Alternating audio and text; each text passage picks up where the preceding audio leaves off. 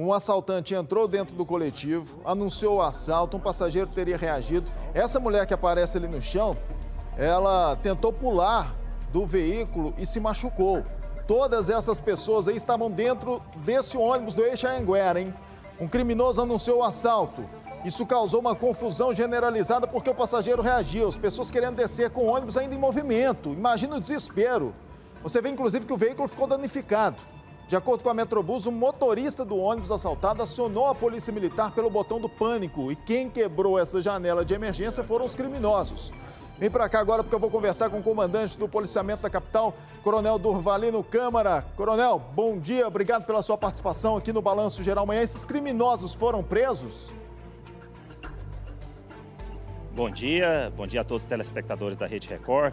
É, a Polícia Militar, vale ressaltar, que é a única Polícia Militar do Brasil que tem um batalhão especificamente para cuidar dos nossos terminais e de toda a malha viária aí do, do nosso transporte coletivo urbano.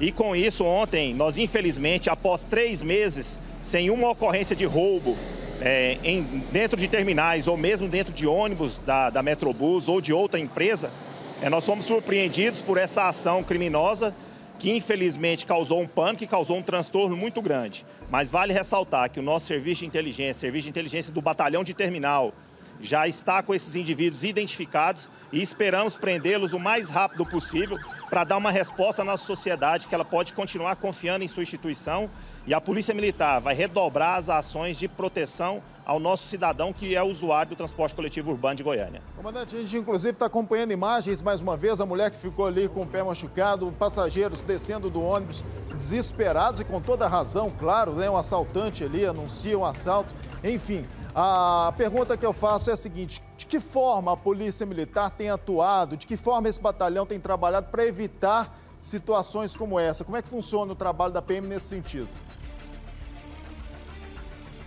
Todos os dias nós deflagramos por volta de 4h45 da manhã, a Operação Bom Dia Cidadão, que consiste justamente nas nossas equipes, dos nossos batalhões de área, do nosso batalhão terminal, fazer a proteção, primeiro, do usuário que está no seu ponto de ônibus, né, para evitar que ele seja vítima ali de roubo ou até outro crime mais grave. Depois nós consistimos justamente no patrulhamento em toda, todos os terminais e rede, principalmente da, do transporte da Metrobus. Nós acompanhamos todos os ônibus da Metrobus nesse período. E estatisticamente, a gente, naquele horário que aconteceu o fato, nós não tínhamos nenhum nenhum indicativo que poderia acontecer naquele horário. Mas nós trabalhamos com dados estatísticos, nós já redobramos a nossa atuação, estamos atentos a isso. Tem um trabalho muito, muito importante da Rede Mob, que tem circuito de câmeras, tanto nos terminais quanto em alguns ônibus. Então foi muito fácil identificar esse indivíduo e nós acreditamos que em pouco tempo a Polícia Militar vai apresentar aí esse indivíduo preso, apresentá-lo à sociedade, apresentá-lo à nossa Polícia Civil para dar continuidade às investigações. Não tenho dúvidas disso, viu, comandante? A Polícia Militar fazendo sempre um bom trabalho aqui no Estado. Esse ônibus tem câmeras de, de segurança?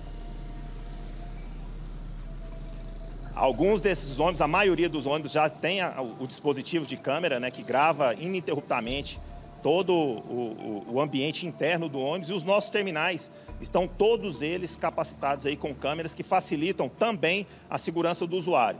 É, é o governo do estado, é a polícia militar, é justamente preocupado com a segurança do cidadão. E nós vamos continuar assim, nos dedicando para que fatos como esse não voltem a acontecer. Mas se acontecer, eles vão sentir a mão pesada do Estado. Mas esse ônibus especificamente, ele tem imagens? A polícia teve acesso já a vídeos com imagens desses assaltantes?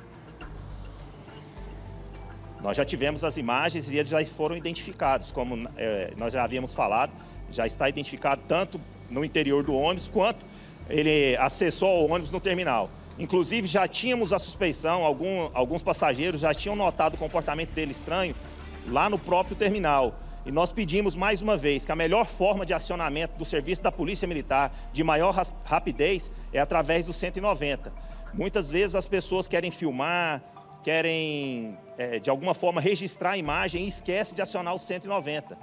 É, o motorista, ao perceber, a ação demorou ali em torno de um a dois minutos para perceber o que estava acontecendo, tendo visto que o tamanho do ônibus é muito grande.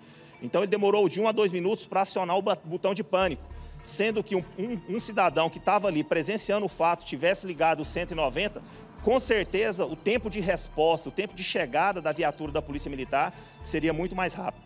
Tá certo. A participação aí da população é importantíssima, até porque segurança pública não é obrigação só das forças de segurança, só da, da Polícia Militar, Polícia Civil, enfim, é uma obrigação de todos nós. Obrigado, comandante, pelas informações. Forte abraço.